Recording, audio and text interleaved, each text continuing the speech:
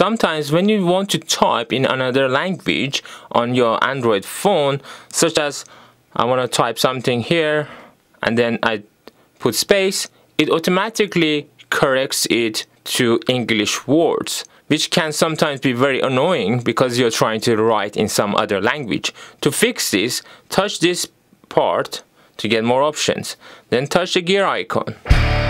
Then all you need to do is to go to text correction. Then you need to scroll down. And here we got the option called auto correction. All you need to do is just to touch it and turn this off and then go back and now type whatever you want press space and now it won't automatically auto correct